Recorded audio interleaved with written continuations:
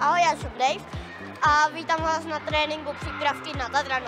Tak dnešní tréninková jednotka byla zaměřená na vedení míčku. Vlastně celkově tady u nás v Tatranu přípravce se 90% zaměřujeme na, na vedení míčku, ať je to trénink, turnaj, zápas, co, cokoliv.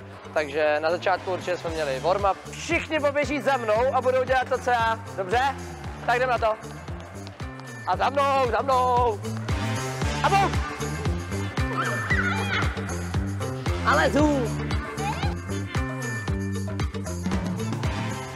Takže, jak hrajem?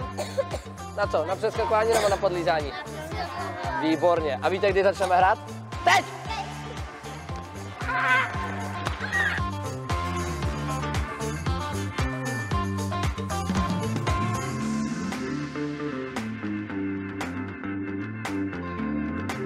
Potom byla hlavní část, která byla rozdělena na, na tři hřiště. Jedno hřiště bylo bludiště.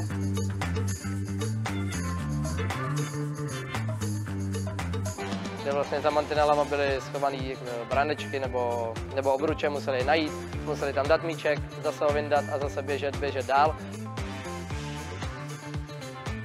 Takže jakou cestu si zvolili, jak drželi, jak vedli míček, tak to všechno bylo na nich a my jsme samozřejmě jenom kladli důraz na to, aby se jim tady dělalo co, co nejlíp. Takže jsme zaměřili pozornost na to, jak jestli jak drží tu florbalku, jestli si ten míček kryjou, jestli se koukají, že běží do volného prostoru, nebo jestli jsou tam hráči, nebo, nebo nejsou. Pojď Ašo, máš obránce, pojď kryj si ten balon, kryj si ho, kryj si ho, pořád, pořád. Tak teď se budeme snažit, nesmím dát míček tam, kde už je můj spoluhráč. Musím mít tam, kde ještě je volno. Pořád hlava nahoře a koukat, kde je volno. Dobře? Tak jedem. Pojď, pojď, pojď, pojď, pojď.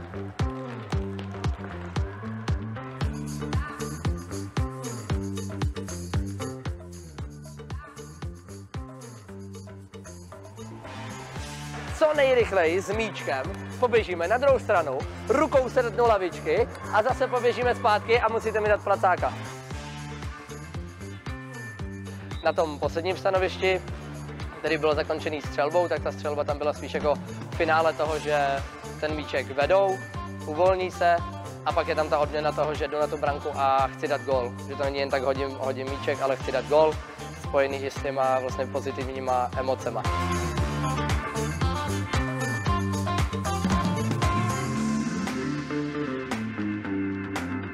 Zase důraz byl kladený na to, aby co nejméně driblovali, aby opravdu ten míček uměli vést, měli zvednutou hlavu a aby ta střelba byl plynulý pohyb. Aby to nebylo, že vedení míčku, nějaká pauza a potom, a potom střelba. Takhle jsme to levelovali, takže první level byl úplně bez obránce, vezmu míček, chci dát góla. Vlastně naše první myšlenka, mám míček, chci dát gól. Když vyjede brankář, co mu udělám? Zabiješ ho střelou. Druhý level jsme, jsme tam přidali obránce, Já s Marťou tady budeme obránci. Budete chodit do nás nebo půjdete do volného prostoru?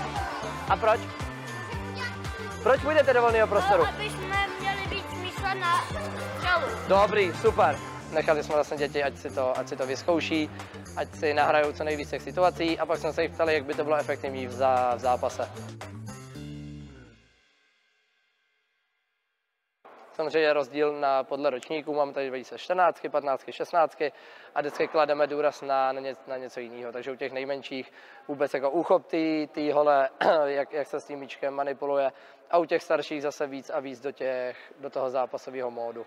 Takže abych měl ten míček pod kontrolou, jak se uvolním, jak sleduju celý, celý hřiště. Takže určitě všechno postavený na vedení míčku, kontrole toho balonu a rozhodování se, samostatnost, odpovědnost s tím spojení. Nazar!